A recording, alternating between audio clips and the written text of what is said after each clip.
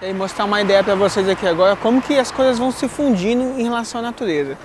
Olha só esse local que a gente está pegando hoje, olha, a frente dele, todo floral na verdade, né, olha, todo cheio de arranjos, madeiras. Vamos entrando para vocês darem uma olhada nas ideias. Olha aqui, olha, tem todo o aproveitamento dessa grade, olha, dá a impressão de uma grade velha, mas tem todo o aproveitamento toda a parte de madeiramento bem aproveitado. Olha só as samambaias, a decoração que o pessoal fez com as samambaias. Olha só. E normal, telhadinho. Então, um salão muito bonito, bem aproveitado. Vai ser um casamento hoje aqui. Olha lá, ó. Toda a parte. Olha a cobertura. Olha só a cobertura.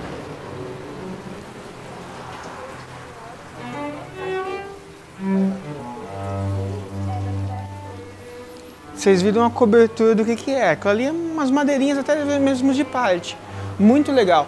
Olha o jardim aqui, bem florido, mesmo que está aqui na sombra. Mas é só você escolher as variedades que dá na sombra. E aqui mais um cantinho também. Muitas samambaias, algumas orquídeas no canto aqui.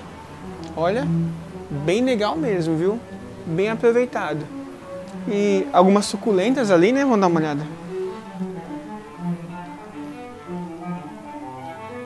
Orquídeas também ali, mais orquídeas. Aqui uma cobertura de tecido. Enfim, é aquela ideia do rústico. Do rústico que muita gente acha que não é legal, mas você vê aqui, olha só, como que fica bonito. Então assim, um espaço pequeno, totalmente bem aproveitado, muito legal.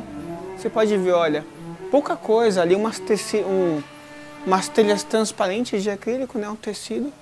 Aqui, inclusive, eles fizeram um deck também, olha, um deck de madeira, ó, pra rua. Então, é isso aí. É umas dicas, ideias, algumas coisas, umas plantas aqui. Olha a portinha como que é.